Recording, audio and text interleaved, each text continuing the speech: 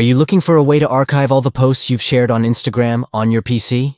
Well, you're in luck because Instagram has released a new update that makes this process easier than ever.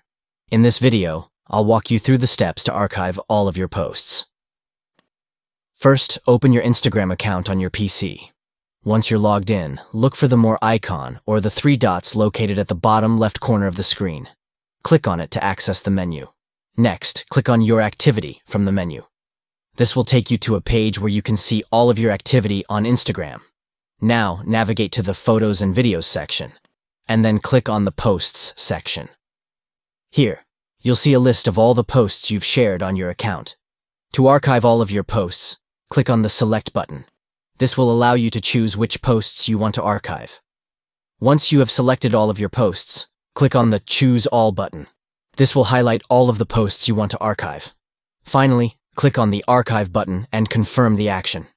Instagram will now move all of the selected posts to your archive, where they will be saved for future reference. And that's it.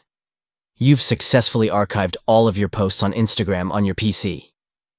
Thanks for watching, and be sure to check out our other videos for more tips and tricks on how to get the most out of Instagram.